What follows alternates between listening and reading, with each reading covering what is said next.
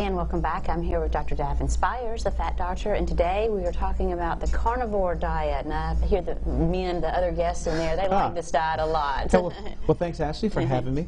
Well, um, so kind of what is the carnivore diet? So the carnivore diet, I like to start out this way. So our gut, our stomach, our small intestine, and our colon, from a size, a shape, and function standpoint, are actually much more like a cat, a dog, a lion, or a wolf than they are like a cow, a sheep, a chimpanzee, or a gorilla. We have a very different gut in the sense that we don't really have the enzymes capable that we make ourselves of breaking down raw plant material.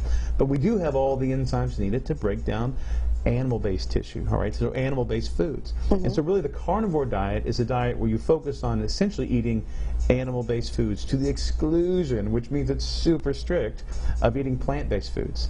Um, you know, so, and, and because of that, the carnivore diet is the cleanest way to eat. It seems like everywhere you hear today about people being sensitive to gluten and mm-hmm. gluten-free diets and celiac disease, and but when you take out the plants, you're removing those things like the glutens, the gliadins, and the lectins that can be very irritating to the gut lining, causing leaky gut, which leads us to all kinds of stuff crossing from the gut into the blood that shouldn't. It causes inflammatory responses.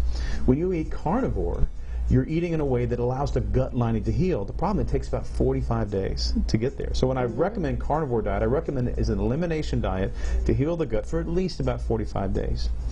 Um, in terms of what's in the carnivore diet, there's all kinds of different beliefs in that, all right? So there's, there, there's differences of opinions. The hardcore carnivores, they do red meat, water, and salt. All right? um, I'm a little more liberal in the sense that I just want you to eat animal-based foods, which can include like eggs and bacon and cheese and butter and, and fish and seafood and all that kind of stuff, just as long as it's animal-based, because I like the variety, all right? Because people feel like if I just eat the same thing over and over again, I'll get bored.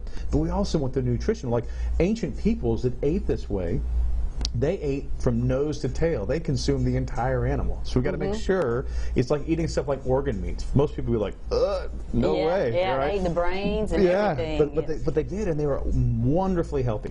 You know, one last little bit. So there's a study that came out of Harvard that was published, I think, in November of last year that looked at, I think it was 2,000 people who've been on a carnivore diet for on average about 14 months. All right, and what they found is like like I think I want to say 92% either reduced or completely eliminated all their medications, right? So it said there, so 5% had adverse symptoms, 95% saw improvements, but everything from their BMI, HDL, triglycerides, reduction in blood sugar, reduction in all kinds of medication, it just mm-hmm. an increase in overall well-being. So this is something new, mm-hmm. but it's very, very old, all right, that uh-huh. we're just kind of relearning. It's very interesting. Now, how can someone get more information?